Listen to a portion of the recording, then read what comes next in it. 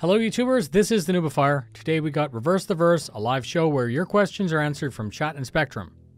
Here's what you need to know in 2 minutes and 20 seconds. Game mechanics are still being developed. None of the mechanics are going to become a push button scenario.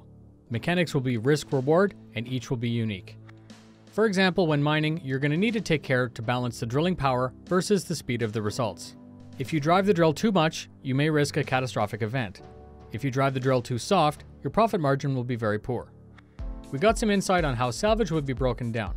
Hull stripping, mulching to collect the raw material, item extraction to collect valuable items, data extraction to remove valuable digital intelligence, and siphoning, which will reclaim air and fuel. As of right now, if you have a dedicated industry ship, we shouldn't expect it to operate effectively outside of its intended role. A prospector, for example, may make a crappy salvage ship, and a Vulcan might make a crappy cargo ship.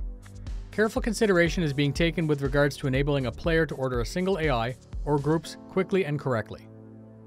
This unified order system will work to command AIs, drones, and players. If an AI or player fails to follow an order, there will be a log to determine why. When you're hiring an AI, not all of the details that you might like to know will be initially evident. You may need to spend some time with the AI to figure out the finer details about its personality. Your equipment choices will help you deal with more G-forces or be better protected. The question, will I be able to train my character to resist G-forces, was actually dodged a little bit. The developers are resistant to the idea of you hiring a full AI crew to operate your ships independently. There's no point in logging into play if the game is going to go play itself in your absence. Mining a planet's surface might come before mining in space. Both will have unique challenges, but will remain fundamentally similar. Actual deformation of the surface, otherwise known as voxel, is not part of the current plan blind quantum jumps may not make a return. If you hire an AI, you're going to have to ensure that their needs are satisfied. You're going to have to consider crew areas, food, and other quality of life features.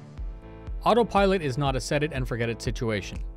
Players will chart more effectively than AI, and it doesn't guarantee that you're going to make it safe as planned. Player and AI characters will appear the same.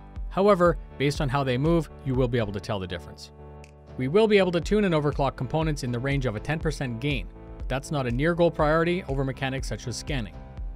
These overclocks will stack. There you go, fly safe, and I'll see you in the verse.